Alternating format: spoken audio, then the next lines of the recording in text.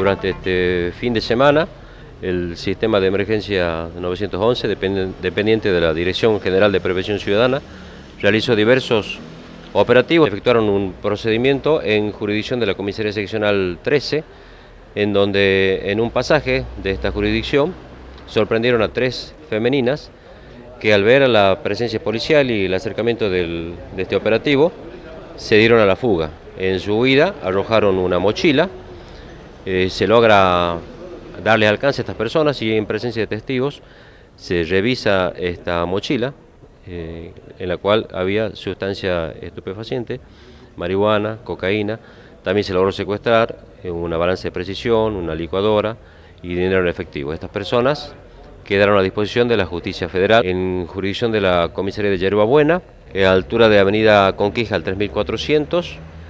Dos individuos estaban intentando ingresar a un domicilio que estaba sin moradores, esto fue advertido por los vecinos, llamaron al sistema de emergencia 911, se hicieron presentes los motoristas a cargo del comisario Alejandro Sihuequi, eh, sorprendieron a estas personas que intentaron darse la fuga y fueron alcanzados cerca de un centro de retiro espiritual.